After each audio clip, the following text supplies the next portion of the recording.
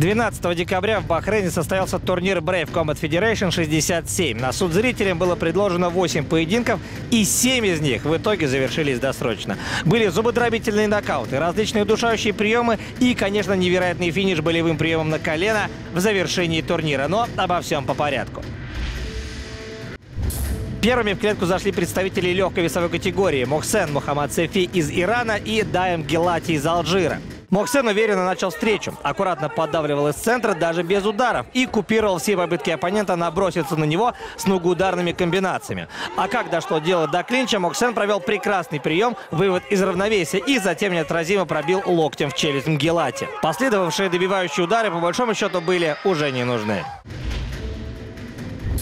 Следующем поединке состоялся апсет, так как Айман Галал из Египта выходил на встречу с Энтони Зайданом из Ливана в статусе серьезного фаворита. Галал работал из центра, не взвинчивая темп, а Энтони максимально активно перемещался и постоянно искал атаку на сайд-степе. Возможно, Галал и забрал первый отрезок, но по факту это уже не важно, так как во втором раунде Зайдан все-таки нашел брешь в обороне Аймана и резко пробил на сближении правым кроссом точно в челюсть египтянину. Затем клетку делили еще один представитель Египта Асам Эль-Сиади и алжирский боец Мохаммед Аль-Селам. На бумаге все должно было быть очень ярко. Два ударника, тяжеловеса. Что может быть лучше? Однако, думается, что даже матчмейкеры Brave CF не предполагали, что в этой встрече будет оформлен настолько красивый нокаут. Асама пробил в лучших традициях Льота Мачиды и Андерсона Силвы. Он сумел пробить пыром точно в челюсть Селаму, после чего тот рухнул без чувств на настил. А Эльсиади встал рядом с ним и начал оглядывать собравшуюся публику. Гангстерский нокаут и, пожалуй, один из лучших ударов этого года. Полулегковесы Абдельхани Сабер и Аймен Суан тоже не стали откладывать дело в долгий ящик. Сабер быстро понял, что у него имеется преимущество практически во всех аспектах, но для разящей и финишной атаки он все-таки предпочел прием. На этот раз удушающий со спины. В пятом поединке вечера в средней своей категории в реванше встретились два соотечественника из Египта – Амар Аль-Дафрави и Ахмед Сами.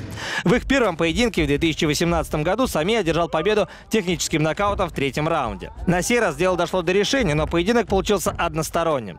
Сами сделал ставку на борьбу и не прогадал. Он проводил тейкдаун за тейкдауном, уверенно контролировал оппонента на настиле и постепенно разбивал. Активно оборонявшийся в первом раунде Эль-Дафрави быстро терял силы и в концовке боя был вынужден сосредоточиться сосредоточиться на собственном выживании, уже не помышляя о контратаках. Судейский вердикт был единогласным в пользу Сами, но все же отчасти неожиданным, так как один из специалистов все же отдал Эльдафрави один из раундов. В шестом поединке вечера базовый борец греко-римского стиля, живущий и тренирующийся в США египтянин Махмуд Себи, не оставил шансов бойцу из Туниса Вожди Мисауи.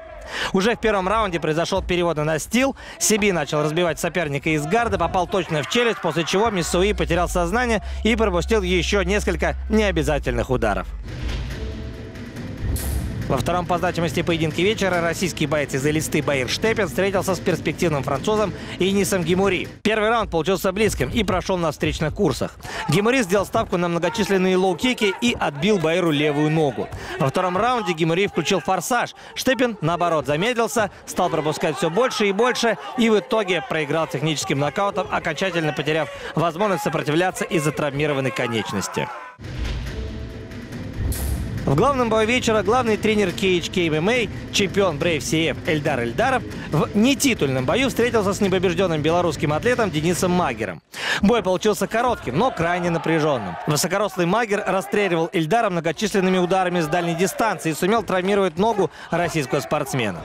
Уже в концовке раунда Эльдар перешел в борьбу и провел первый в истории Brave CF рычаг колена, заставив оппонента капитулировать на последних секундах.